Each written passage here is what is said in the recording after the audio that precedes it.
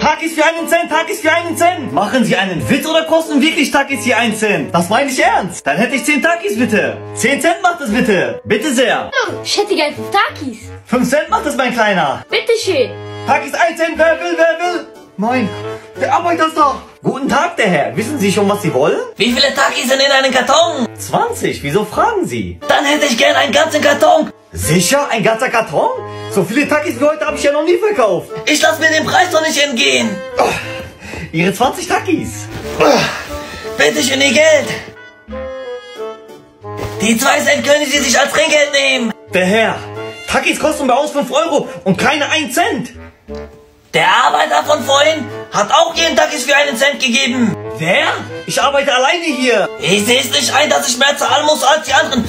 Ich habe Ihnen sogar 2 Cent Trinkgeld gegeben. Los, geben Sie mir mein 2 Cent Trinkgeld wieder. Sie sind ziemlich undankbar.